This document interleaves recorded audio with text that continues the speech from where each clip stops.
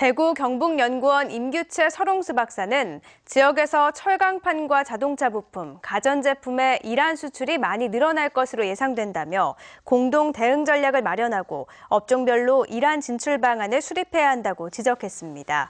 또 이란과의 문화 교류를 확대하는 방안으로 경주 세계문화엑스포의 차기 행사를 추진해야 한다고 밝혔습니다. 이란은 세계 4위의 원유 매장량과 풍부한 고급 노동력으로 성장 잠재력이 큽니다.